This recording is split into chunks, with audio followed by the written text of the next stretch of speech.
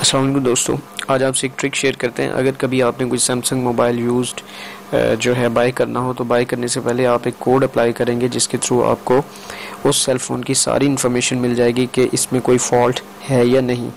तो सिंपली आप डायल करेंगे star hash seven three five three hash जैसे ही आप अप्लाई करेंगे, आपके पास ये ट्वेल्व मेन्यूज़ अपेयर होंगे। इन तमाम मेन्यूज़ को आपने वन बाय वन चेक करना है। फ़र्स्ट ऑफ़ ऑल मेलोडी पे क्लिक करें।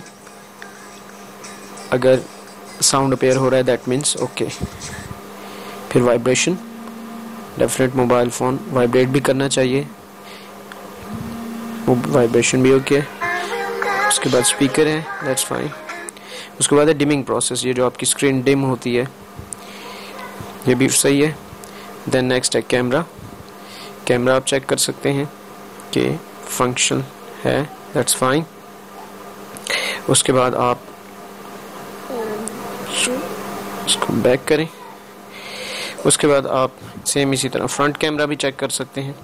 उसके बाद है ब्लूटूथ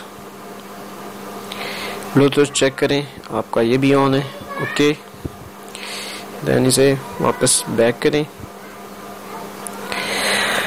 उसके बाद है G T S P dot mode ये T S P dot mode से ये कंफर्म हो जाएगा कि आपका जो है टच पैड काम कर रहा है।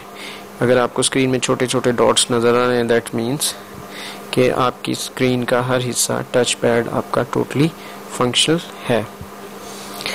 उसके बाद आप चेक करेंगे TSP grid mode TSP grid mode क्या है कि आपकी स्क्रीन टोटल स्क्रीन को ये कंफर्म करेगा कि स्क्रीन का कोई भी पोर्शन डैमेज या ख़राब तो नहीं है।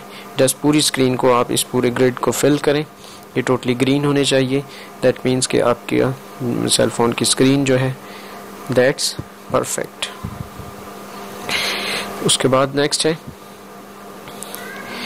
एक्सीरो मीटर सेंसर ये क्या करता है कि जब भी हम कोई वीडियो देखते हैं, अगर हम सेल फ़ोन को रोटेट करें तो वीडियो भी रोटेट होती है। तो इसके थ्रू आप ये चेक कर सकते हैं कि आपका ये सेंसर भी काम कर रहा है या नहीं कर रहा।